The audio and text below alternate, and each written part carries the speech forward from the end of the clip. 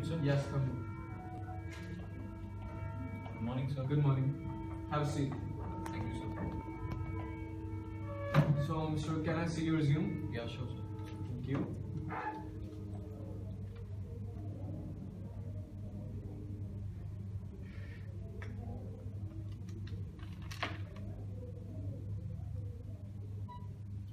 Okay, so Mr. Mohit, as you know that I am the HR manager of our Sunshine College and we are hiring assistant professor for economics in our college with having the post-graduation degree.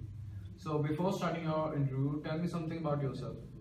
Okay, well, sir, my name is Mohit and I am from Karnal and I have done my, both my bachelor's and master's from Lovely Professional University and I have done PhD in economics and I would uh, like to join your college for for the post of professor professor of uh, in economics.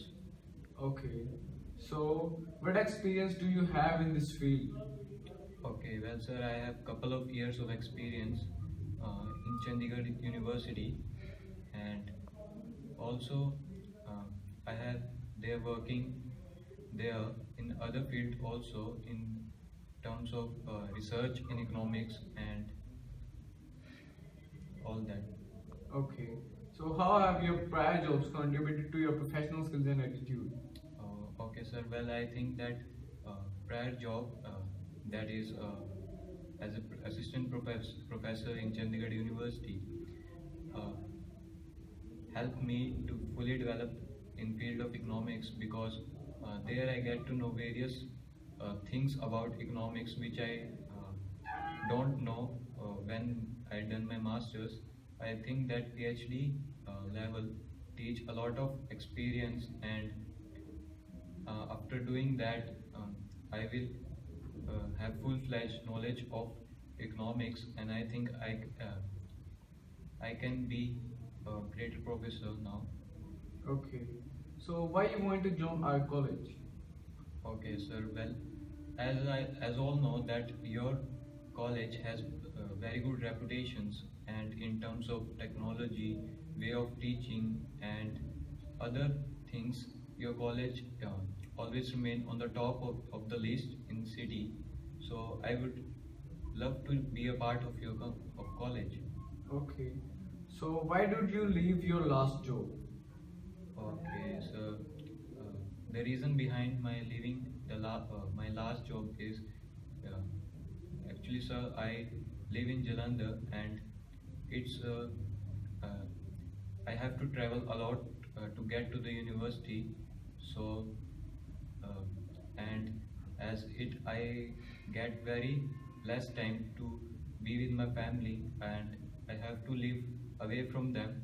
So I would like to prefer nearby college uh, to be as to give ex- expertise in my field and I also want my uh, neighbor youth where I am living to uh, get the knowledge uh, knowledge and be at the position where I am today. Okay.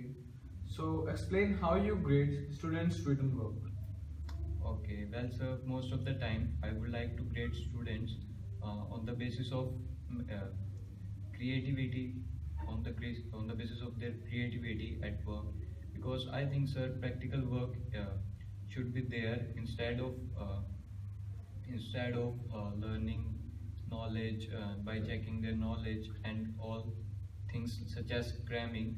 Uh, these things are now uh, these things teachers most prefer in college time but i think that if anyone want to be a part of good reputed uh, reputed reputed company a person should have uh, practical skills and imagination level at good uh, level so that uh, it can easy easily easy to them to globalize their company to other countries so i think that uh, i would love uh, i would grade students on the basis of that Okay. So,